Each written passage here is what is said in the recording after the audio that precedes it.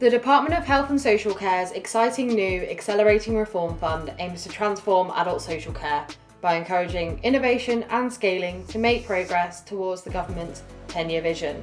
DHSC has set out a list of 12 priorities, falling under the vision's three objectives.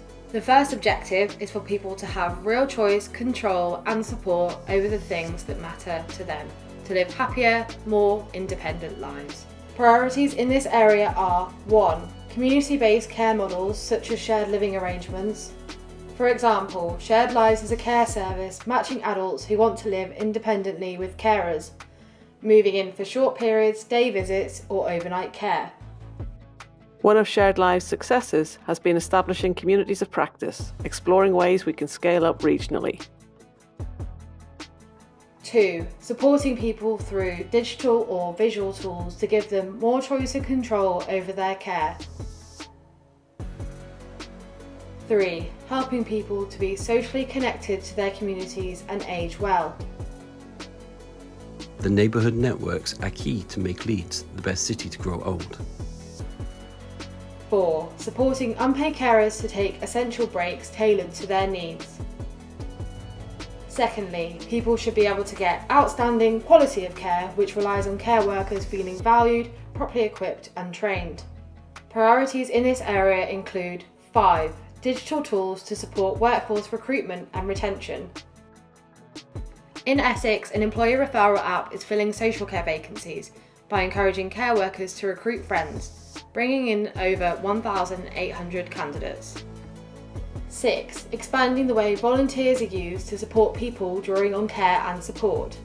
7. Assessing the needs of unpaid carers in a way which focuses on what matters most to them. 8. Supporting and involving unpaid carers when discharging people from hospital.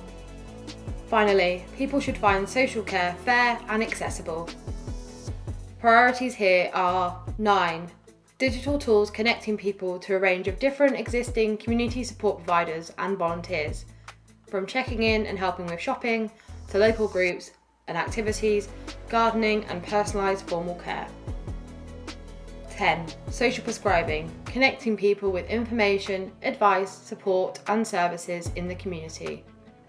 We support people to be assessed for house adaptations like grab rails and fall sensors and know what benefits they can claim for, reducing emergency hospital admissions. 11. Proactively identifying unpaid carers. 12. Encouraging people to recognise themselves as unpaid carers Many people don't recognise themselves as a carer and don't consider a carer's assessment, so work reaching out to communities like Encompass in northwest England and Tower Hamlets are key. The Accelerating Reform Fund will support at least two projects per integrated care system area. At least one should focus on unpaid carers. Register your interest by the 12th of January 2024. Social Care Institute for Excellence is providing hands on support. Please email innovation at scie.org.uk.